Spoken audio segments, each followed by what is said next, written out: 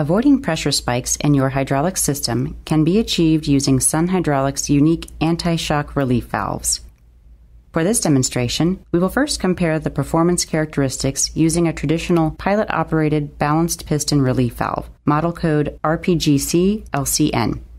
Notice the presence of a brief pressure spike just above 5000 psi with a 3000 psi setting. Next, we will switch the pilot operated balanced piston relief valve to a direct acting relief valve, model code RDFA LAN. Notice how the pressure spike is clipped However, there is still a brief 100 psi overshoot. This valve exhibits a very fast response. This next cartridge is a pilot operated balanced poppet relief valve model code RPGS LCN. In this demonstration, we are able to see that the pressure spike is slightly higher than that of the direct acting relief valve.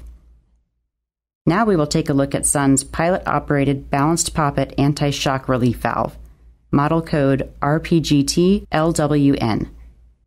This anti shock relief effectively eliminates any overshoot and pressure spike in the system.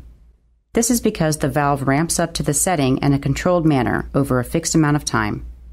For more information on this and other unique Sun products, visit us on the web at www.sunhydraulics.com.